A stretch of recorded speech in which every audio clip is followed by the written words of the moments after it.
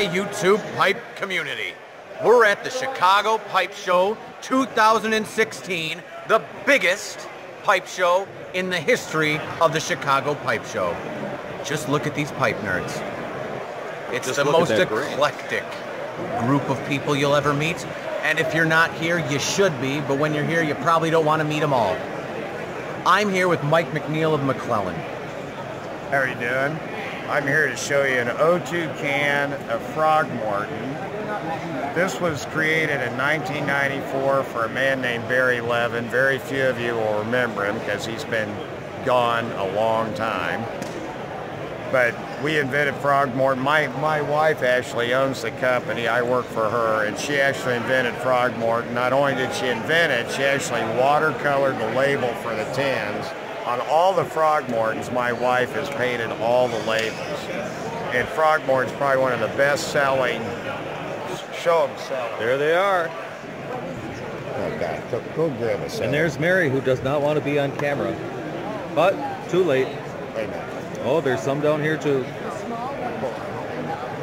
There you go. This frog cellar is probably one of the best things I've ever thought of with the wooden stave, the two inch piece and the big cans and one inch cubes. These are cut from an eight year old bourbon barrel, which will go unnamed because I don't want to get sued. and I would. I'd have five lawyers trying to kill me before I got out of here. But I sent her home. I said, I want you to paint Frog Morton Cellar. I came home three hours later. It was finally watercolored and it was done. This one I worked on for probably four months, day and night, seven days a week. Whoa. I couldn't come up with it. I was sitting on my porch in 100 degrees in a screened-in porch smoking my pipe at midnight, telling my wife I'd been defeated. For the first time in my life, I was defeated. And she said, did you stow some Red Virginia? I said, I did, but I don't think it's working. She said, go down to work, go pick up the Red Virginia. We have triple beam scales in the house because I'm always messing around. so I drove to work, got back at 1. She reblended it while I sat there thinking I was defeated. And we did it, and it was perfect. Wow. Right in the middle of the night. you who has the brains in the family and, and at the company. And without her, I would be out on the street, not even with a piece of cardboard telling you I need money. So that's where Frog Morton Cellar, she hand painted it.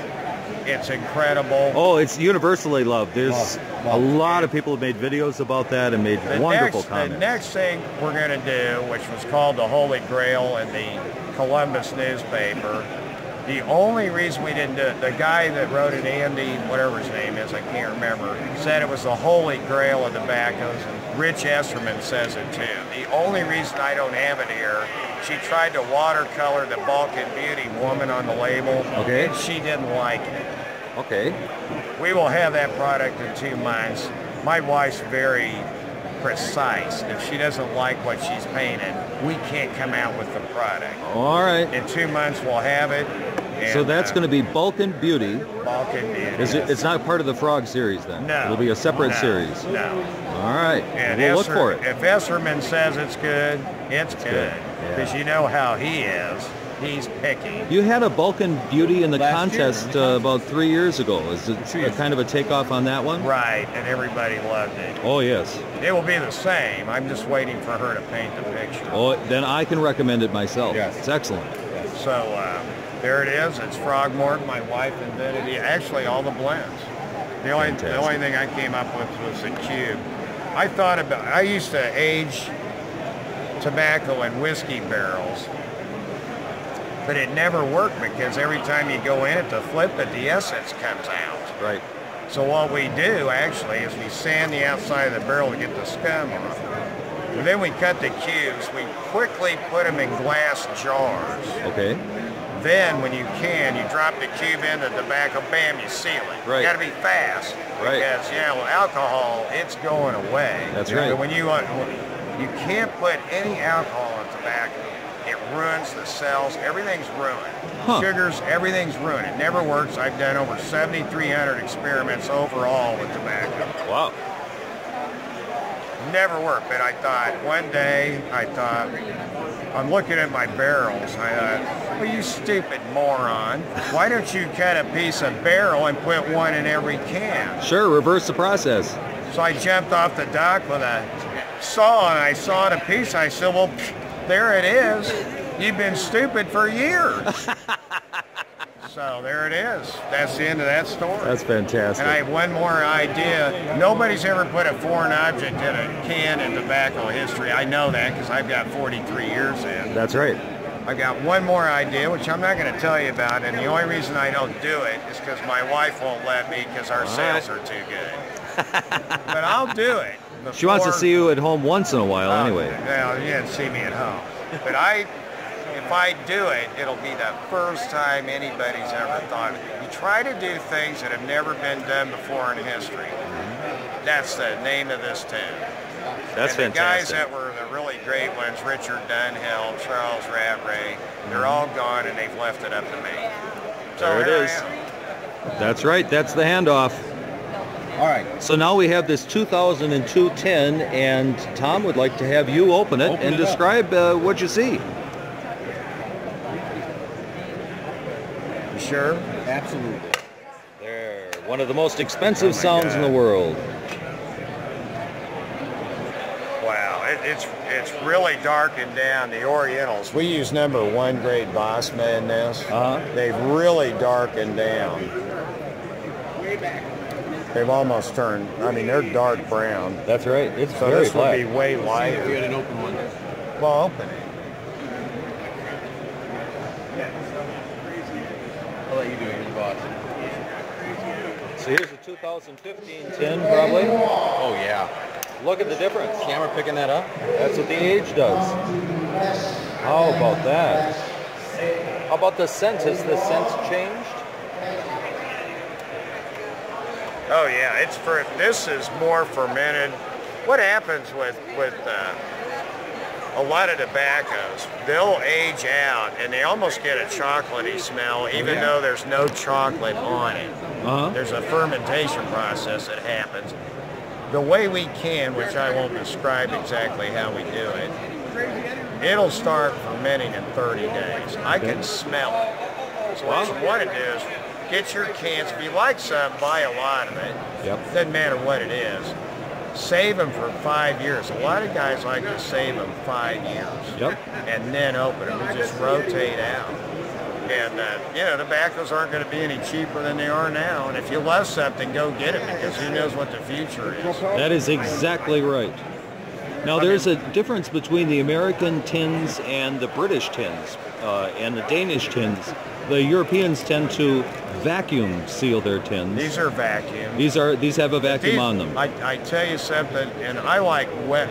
One thing I like is Wessex Gold Flake. Uh huh. I've always liked it, and I like smoking it in clays. There's a guy here that makes clays from the 200-year-old molds. Right. They're like ten dollars a piece. That's right, they have are a whole cheap. bunch of them. I use those for testing. I don't use briars Right. for testing at all. We only use clays Yep. and meerschaums. And a lot of you guys don't smoke meerschaums. Meerschaums are some of the finest pipes ever invented.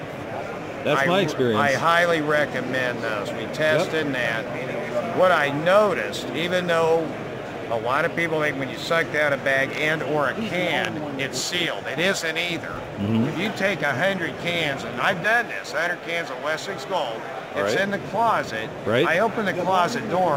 Why am I smelling it? right. You It's can't. Coming right. through the compound, and it's air's going in and out of that compound. Right. Otherwise, you wouldn't smell it. Right, even in a bag, they won't suck down. Air's, it does too. It's getting in. Yep. So what Mike Butera does is a picky genius. He's a jackass, but he's a he's a quality-minded jackass.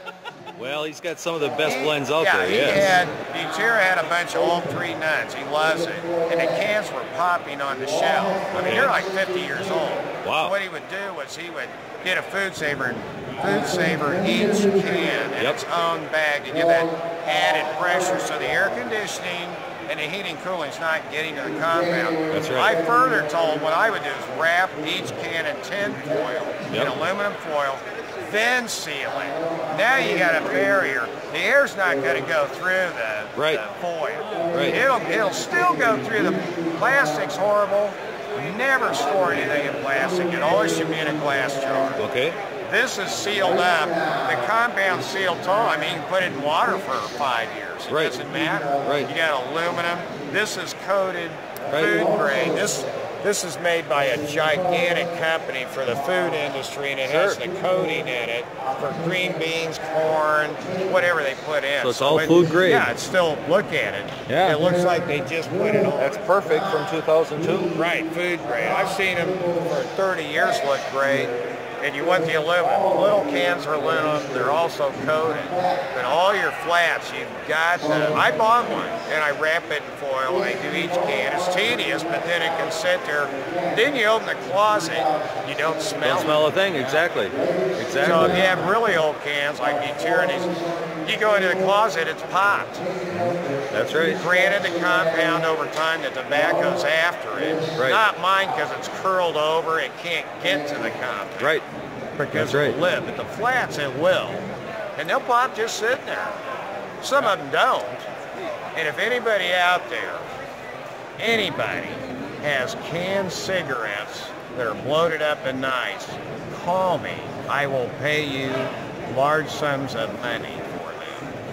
That's when men were men, and they're not now. I can attest that I have heard you go on and on about cigarettes before. Oh, yeah. And my father used to say they got to the late 60s, early 70s, and the cigarettes changed. Right, but the canned cigarettes with 50 in it, Senior Service, Gold Flake, uh, Craven A. In fact, I opened three years ago here a 99-year-old can of Cravens that Frank Burla got for me. Wow. And they were in perfect condition. Wow. They blowed up. You want to make money, get the cans. I don't do internet. I have six computers. I don't even know where the button is. They're all at work.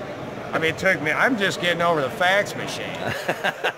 Find, find me cans, call me. I'll do a trade. You want a bunch of frog? That's the way to do it. Yep. That's the way. I want the cigarettes, you want the frog, do it. Bring it to me. Well, the millions of viewers of this video now are on, on the hunt. Good. They're on the hunt. I expect a phone call this evening. You bet. well, thanks for opening this up for us Okay. and for this great interview. I enjoyed it. I appreciate always- all of you out there, and we're just going to keep doing it. We just love listening to you. So thank you. Thanks, Thom.